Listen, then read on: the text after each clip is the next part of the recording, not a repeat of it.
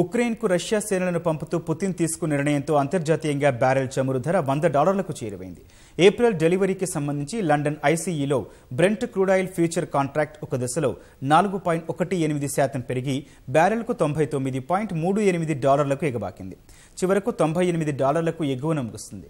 Brent crude oil barrel ధర రెండు వేల పద్నాలుగు సెప్టెంబర్ తర్వాత తొంభై తొమ్మిది డాలర్లకు చేరడం ఇదే మొదటిసారి. ఐరోపా దేశాల సహజ వాయువు ఉత్పత్తిలో మూడో వంతు ప్రపంచ చమురు ఉత్పత్తిలో పది శాతం రష్యా నుంచే వస్తోంది.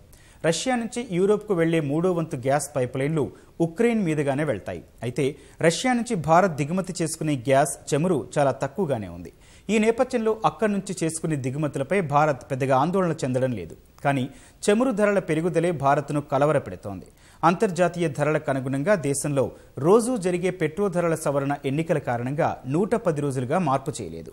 ఉత్తరప్రదేశ్లో ఎన్నికల ప్రక్రియ ముగియగానే ధరల పెంపు ఉంటుందని చమురు ఉత్పత్తి సంస్థల అధికారులు చెబుతున్నారు.